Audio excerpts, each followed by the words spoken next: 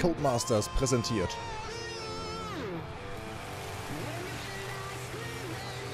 Ein Racing-Studio-Event.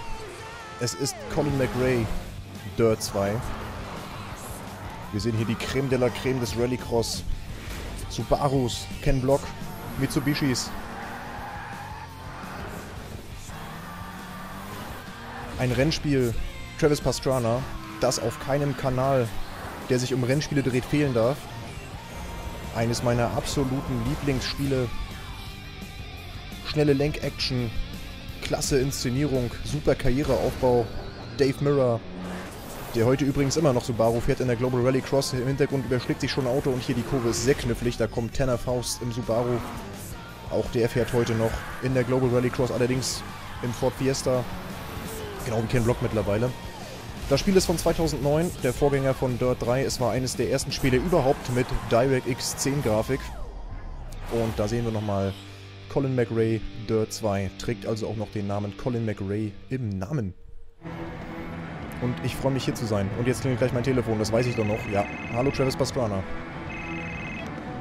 Soak in the atmosphere, man. That race was intense. Anyway, you've seen firsthand how Ken does it, but now it's time for you to show us what you can do. And to do that, you're gonna need a ride of your own. So here it is, dude. A Subaru Impreza STI. Yeah. But hey, this isn't a normal Subaru. It was once driven by the rally legend Colin McRae. Allerdings. You've got some pretty big shoes to fill. Ja, wir müssen in große Fußstapfen treten. Colin McRae. I still can't believe you're planning on traveling around the world in that beaten up tin can of Oh yours. doch, wir werden in But hey, diesem... a home's a home, right? Genau, in diesem Gefährt Oh, werden I wir um die Welt forgot. reisen. You need to fill in your personal details before you can race. Something to do with insurance or safety regulations. Nah, don't worry about it. Just fill it in and we can get started. Ja, wunderbar. Tenef House hat uns hier begrüßt in unserem neuen Campingwagen, in dem wir jetzt um die Welt reisen werden. Und ich nenne mich einfach mal so, wie ich auch wirklich heiße, und zwar Michel. Hallo, M. Jawohl, Michel. Und ich würde sagen, wir fahren als norwegischer Neueinsteiger so ein bisschen. Deswegen nehme ich mal Michel Östberg. Ich weiß gar nicht, ob das Ding hier null... Come on, man. We got a party to get to. Ähm. Und, oh, Moment mal. Nee, nicht so wirklich. Deswegen, ich mach's mal einfach als OS... Hallo, Ostberg.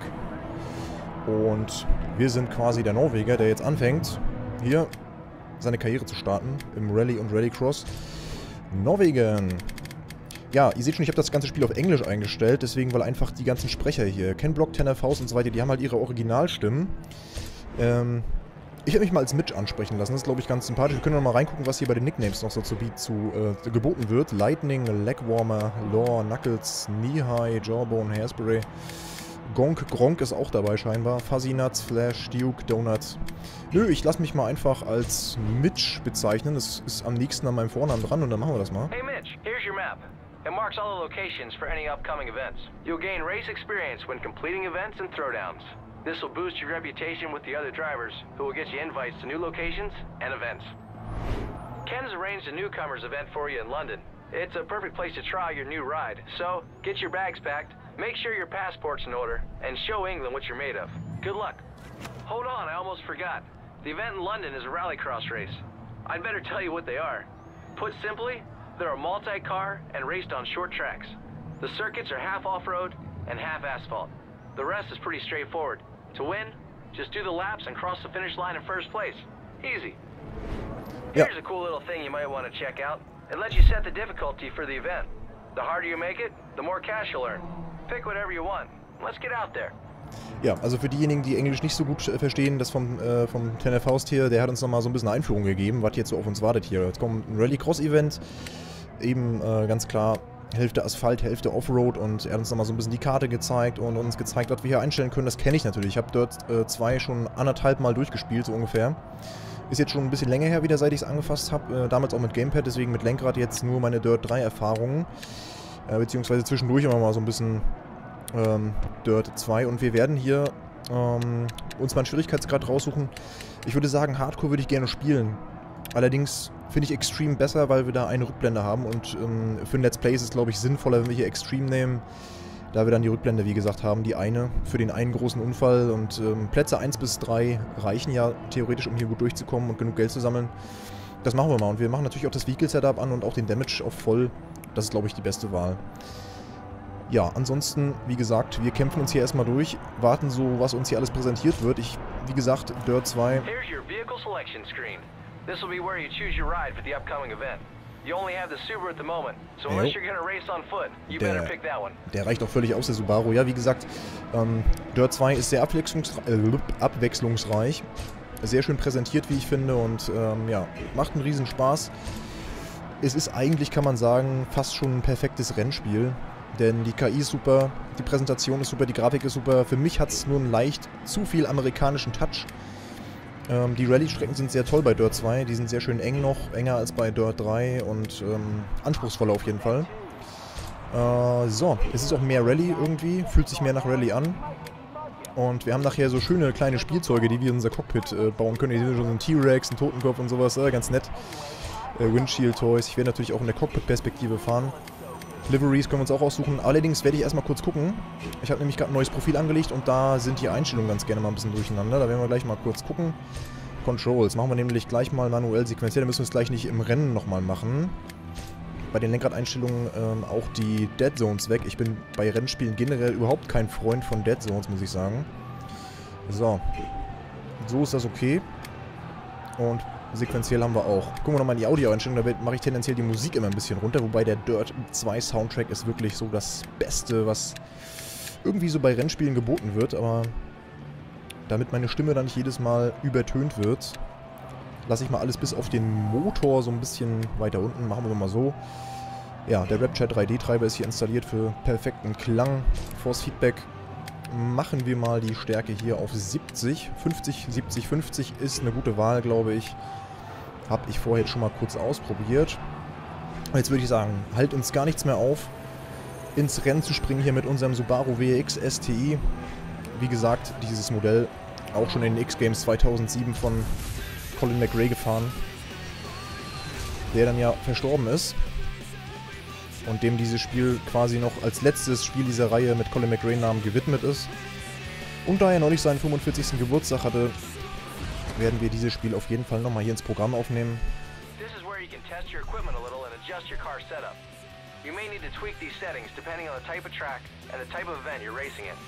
Ja, Travis gibt uns nochmal ein paar Instruktionen. Hier können wir unser Setup einstellen. Das ist wie bei Dirt 3 genau der gleiche äh, Rotz, wollte ich schon sagen, genau die gleiche Soße. Ähm, ja, äh, Rallycross bietet sich bei ähm, Getriebebesetzung ein bisschen weniger, also ein bisschen kürzer an, äh, da man aus den Ecken besser rausbeschleunigen kann. Downforce lasse ich da mal lieber in der Mitte. Da haben wir so eine Mischung aus schnellen Kurven, langsamen Kurven und geraden. Deswegen bleibt das in der Mitte. Bei der Aufhängung ist es genau das gleiche. Die mache ich mal tendenziell ein bisschen härter, um ein bisschen mehr Kontakt zur Straße zu haben. Genauso auch die, die Wagenhöhe. Das Differential lasse ich mal lieber in der Mitte, dass es nicht zu hecklastig wird. Dafür mache ich aber die Bremsbalance nach hinten.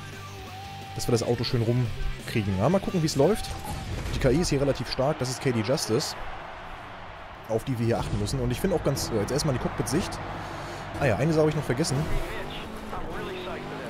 Die ich nochmal schnell einstellen werde, und zwar das HUD. Das tut mir jetzt leid, wir müssen nochmal ganz kurz warten. Und zwar beim HUD will ich nicht alles haben. Zum Beispiel diese Progression Bar, die geht mir so ein bisschen auf den Nerv. Die ist da links ein bisschen zu viel. Auch die Näherungspfeile sind ein bisschen überladen, finde ich. Das brauche ich nicht. Das merke ich auch so, wenn jemand neben oder hinter mir ist. Ansonsten lasse ich das mal für euch alles an. Ich bin kein großer HUD-Fan, aber dann habt ihr ein bisschen mehr auch Übersicht übers Rennen. Und die Lenkradcam, die wird dann wahrscheinlich hier unten links landen. Die seht ihr dann in diesem Moment jetzt schon. Jetzt wollen wir uns erstmal konzentrieren kurz. Es geht hier los. Mal sehen, ob wir unseren Einstand hier in London packen können. Wow. Ja, die Wassereffekte auf der Scheibe, die sind hier bei Dirt 2 irgendwie geiler als bei Dirt 3. Ich weiß gar nicht, warum sie die bei Dirt 3 nachher so rohpixelig gemacht haben. Das Wasser wirkt bei Dirt 2 viel feiner. Warum auch immer. So, unsere Übersetzung, wie gesagt, ist sehr, sehr kurz. Ja, das hier ist ganz klar zu erkennen. Battersea. Gibt es natürlich auch nachher noch bei Dirt 3 und auch bei Dirt Showdown. Diese Rampe und diese diesen Abschnitt dort unten. Ja, wir holen wieder ganz gut auf. Hier vor uns ist gerade ein Lancer von Tom Dent, der hier auch ein bisschen langsam unterwegs ist. Ja, Dave Mirror eben schon mal kurz im Intro gesehen. Auch heute immer noch beim Subaru Puma Rally Team in der Global Rally Cross Championship unterwegs in den USA. So, wir haben uns schon mal auf Platz 2 vorgeschoben. Letzte Runde gerade. Katie Justice nur noch vor uns. Jetzt ist wieder erstmal ein Blindflug angesagt. Man sieht echt gar nichts. So, ich bin mal gespannt, ob wir noch die Katie... Haben uns innen reingedrückt. Also sie wird nicht so leicht aufgeben, aber da hilft uns jetzt unsere schnelle Beschleunigung aus der Kurve heraus. Das ist das, was ich meinte. Man kommt gut aus den Ecken. Oh, das war zu viel, das war zu viel, das war zu weit. Wow, wow, wow, wow, wow, wow. Komm schon. Führung behalten. Noch ein paar Kurven, dann haben wir hier unser erstes Rennen hinter uns gebracht.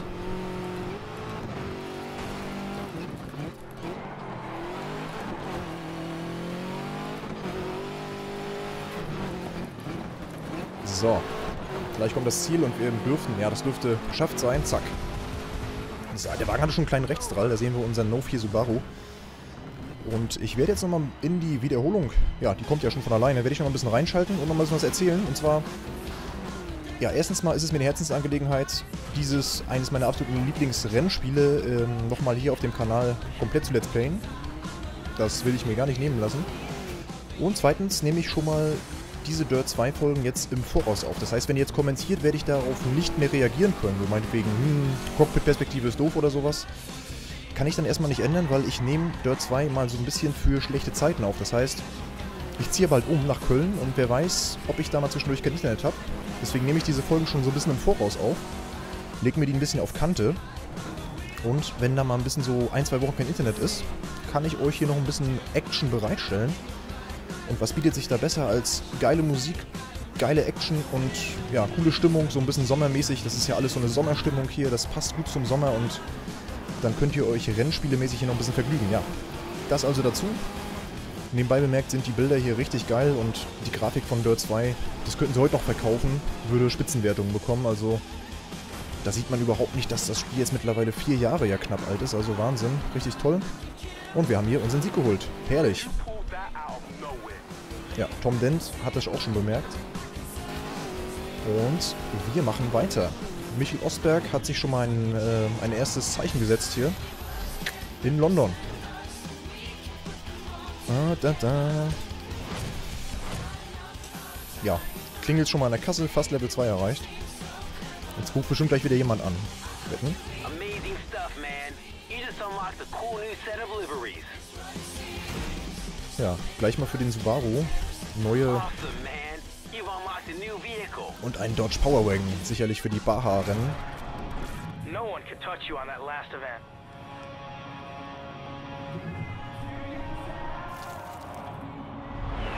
Ja, genau, da wird schon Kalifornien.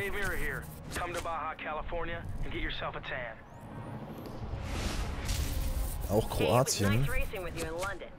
How about trying your hand at rally? The purest form of off-road racing. Why don't you come to Croatia with me and give it a go? Ja, wunderbar. Wir wurden jetzt nach Kroatien und nach Baja, California eingeladen. Äh, Baja, spanisch ausgesprochen. Ja, diese Rennen, diese Baja-Rennen in Baja-Trucks, die gibt es tatsächlich. Das ist hier keine Erfindung vom Spiel. Das ist alles relativ an der Realität angelehnt. Auch die dicke Monster Energy Dose, die da eben noch auf dem Tisch stand, jetzt aber weg ist. Also das ist auch geil, finde ich. Hier dieses Menü, das vermisse ich so sehr bei Dirt äh, 1, äh, bei Dirt 3. Bei Dirt 1 auch, da gab es das auch nicht, aber ich finde das irgendwie so geil. Diesem, das war auch bei Formel 1 so. Da liegt dann diese Details. So eine Flasche liegt da noch, das Handy liegt da auf dem Tisch, also so ein Ordner hingepfeffert einfach. Das finde ich richtig genial. Und dass dann auch immer sich außen die Umgebung ändert. Also an was für Details hier gedacht wurde, es ist so detailverliebt. Auch diese Kochecke da. Und äh, ja, übrigens auf dem Laptop ein kleiner Fun-Fact, wenn ihr mal genau hinguckt, da rechts unten in der Ecke, da läuft gerade Colin McRae Dirt 1. Da ist auch noch so ein Poster an der Wand, also ganz cool. Oben sehen wir, der Fernseher läuft gerade. So ich glaube sogar noch ein alter Röhrenfernseher. Relativ geil. Ja genau, dann kann man hier auch rausgehen halt und ähm, so ein bisschen die Autos angucken. Da sitzt unsere Beifahrerin, die wir übrigens auch umstellen können. Da kann ich ja mal reingehen. Natürlich haben hier auch alle DC-Pullover an, weil das Ganze ja irgendwie von ähm, Ken Block gesponsert ist. Haben auch Monster Energy, also die ganzen Ken Block-Sponsoren, die sind hier sehr stark vertreten. Ähm, genau, ich kann hier mehrere Beifahrer im Laufe der Zeit freischalten. Zum Beispiel hier die Chloe Brooks, die ist noch gesperrt. Und ich mache gleich mal die technischen Ansagen. Das ist mir ein bisschen lieber. Ist ein bisschen professioneller. Wir können hier auch nach und nach die Verhältnisse zu den ganzen Namenfahrern äh, verbessern. Also Dave Mirror gibt es wirklich, ist tatsächlich ein echter Rallycross-Fahrer. Jay Taylor und Katie Justice sind meines Wissens nach Erfindungen. Ja, Mohamed Ben Sulayem, der taucht auch oft auch, oft auch äh, Ken Block, natürlich auch ein echter Fahrer, genauso wie Tanner Faust, der heute übrigens auch das amerikanische Top Gear oft macht. Äh, und Travis Pastrana, die sind alle wirkliche Fahrer, die gibt es tatsächlich im echten Leben und das sind immer noch allesamt Rallycross-Fahrer oder Stunt-Fahrer, wie auch immer man die nennen möchte. Aber wir machen jetzt weiter und zwar würde ich sagen mit einer klassischen Rallye in Kroatien. Das sind wirklich richtig schöne Stages dort. Ja, und wir holen uns hier mal ähm, bei der Velebitska Avantura Rally Brembo am Hairpin Run. Welcome to the rally discipline. This is where Colin McRae really made a name for himself. It's a straight point-to-point -point run. The driver who posts the quickest time is the winner. Ja, also mir muss man nicht erklären, was Rally ist, aber natürlich für alle, die es nicht wissen. Ja. Cool, but your current car is not to the correct rally specification. Normally, you have to buy a rally pack to allow your cars to enter rally events. But I'll foot the bill for this one. Give them hell. Ja, also wir haben schon 142.000 Euro, mit denen wir hier uns schon ein Auto zulegen könnten. Und ich werde ganz klassisch erstmal beim Subaru bleiben. Jawohl, Subaru WRX STI in der Gruppe N, den nehme ich jetzt erstmal. Und soweit ich weiß, haben wir ja gerade schon mal da so eine kleine, genau, wir haben uns schon ähm, Lackierung freigeschaltet. Und das hier die No-Fee-Lackierung, mit der Colin McRae auch damals bei den X-Games gefahren ist. Die nehme ich hier erstmal. Haben wir jetzt auch schon was für die fürs Innenleben des Autos? Ich glaube noch nichts, nein. Aber wir nehmen auf jeden Fall mal den goldenen Subaru mit der No 4 Lackierung und legen direkt los. Ab geht die Post. Kann ich mich ja eigentlich auch umschauen? Ne, zoomen kann ich auch nicht, zumindest nicht mit dem Lenkrad. Ähm, ja, man sieht es vielleicht auch auf der Lenkradcam, dass die ähm, G27 LEDs nicht ganz wirklich stimmen. Also die sind leider bei Colin McRae Dirt 2 verbuggt falls dann nochmal nachträglich jemand einen Tipp für mich hat.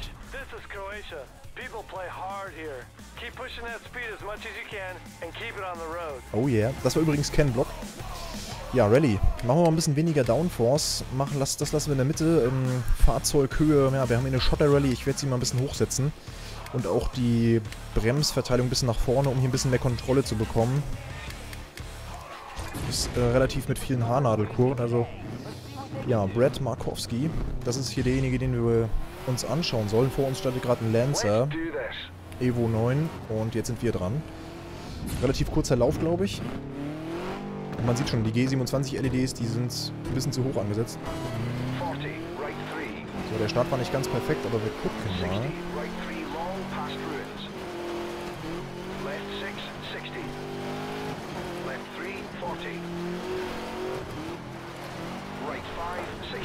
Also aus der Erfahrung weiß ich, dass die KI hier relativ gute Zeiten hinhaut.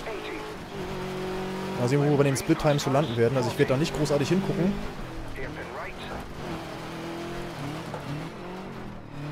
Ganz einfach, weil ich mich mal ein bisschen auf die Strecke und den Beifahrer konzentrieren muss.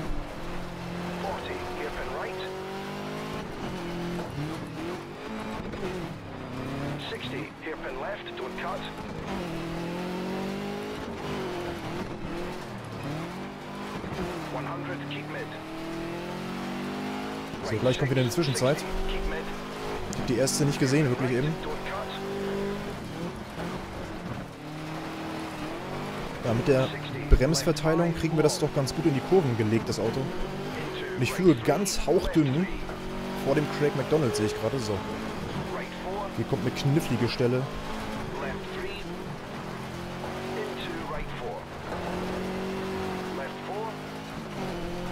Hier vorne Scheint es einen Unfall gegeben zu haben, muss ich gleich mal aufpassen.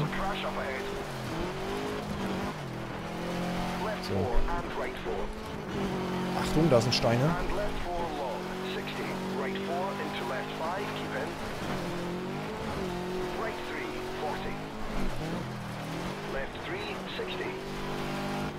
Ich glaube, das ist dann auch die letzte Kurve. Kommen wir fast ein bisschen zu weit raus und dann kommt das Flying Finish. Und wo landen wir?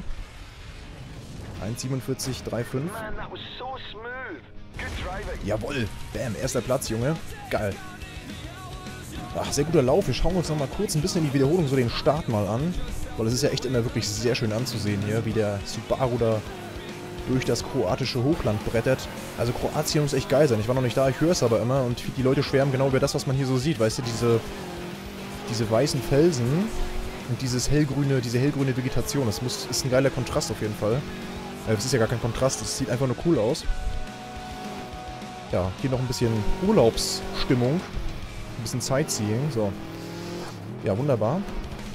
Die Bewegungen des Autos wirken hier sehr schön nachvollziehbar. Die Bremsscheiben glühen wunderbar und ja, einfach nur schöne Bilder.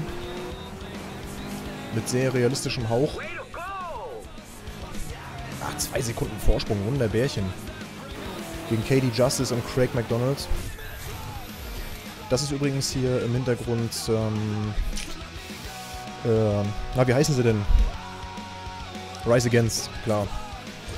Hoffentlich kriege ich hier keine äh, Musikprobleme noch mit, den, mit der Aufnahme. Das wäre natürlich ein bisschen ärgerlich. So.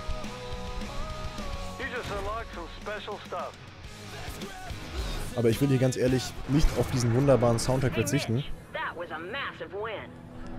Ew, massive win. Jetzt kriegen wir auf jeden Fall wieder neue Events zugeschanzt, denke ich mal. Oder, oder, oder? Ne, jetzt müssen wir erstmal nach Baja. Ja, ich habe jetzt auch den Skull freigeschaltet. Den werde ich gleich mal für alle Fahrzeuge übernehmen. Jetzt geht es erstmal an den Strand hier. Mit dem Land Rush Fahrzeug. In den Encen Ensenada Sprint. Zwei Runden. Jawohl, das war die erste Folge Dirt 2. Ich hoffe, ihr habt beim Zugucken genauso viel Spaß wie ich beim Fahren. Und ähm, ja, beim nächsten Mal geht es eben in Baja weiter. Und wenn ihr mal richtig simulationsbasierte Rallye sehen wollt, dann habe ich hier noch ein kleines Gameplay kommentiert von der Rally World Mod 2013 mit dem Peugeot. Hier bin ich in Slowenien unterwegs, sehr sehenswert. Und dann noch hier links unten die letzte Folge vom Dirt 3 Let's Play Together, also der Nachfolger im Multiplayer. Hatten wir auch sehr viel Spaß an der ganzen Sache. Schaut doch mal rein und dann bis zur nächsten Folge.